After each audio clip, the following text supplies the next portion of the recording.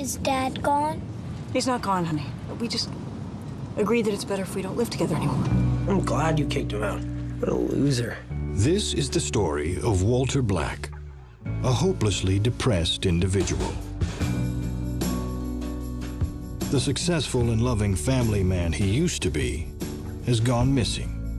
And no matter what he's tried, Walter can't seem to bring him back. What's that? It's a brain. Mom says yours got broken. So you can see that Walter is a man who's lost all hope. But he's about to find his voice. Bloody hell. Look at you. I'm sick. Do you want to get better? Who are you?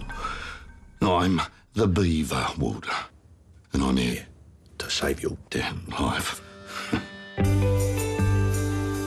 The person who handed you this card is under the care of a prescription puppet designed to help create a psychological distance between himself and the negative aspects of his personality.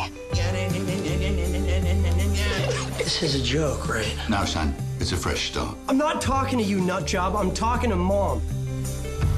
Good morning, all. As of now, Walter was resigning and putting me in charge. The funniest was the month. Have a look at this. A beaver? It's the future. Mr. Beaver Woodchopper kits selling out in droves. I've been very patient, but I want you, not him. This man is a dead end. He's gone. I fought for you, and I will continue to fight for you because I love you. I want Daddy. I know, buddy. When I was a little kid, all I ever wanted was to be like you. Then I got older, I just wanted to be anybody else.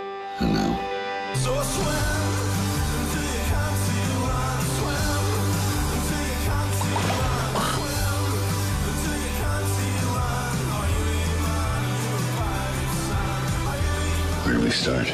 We start with a good part.